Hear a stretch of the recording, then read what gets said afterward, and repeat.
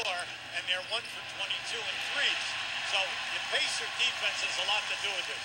They have now one for eight from the field in this first quarter. Hibbert attacks the rim.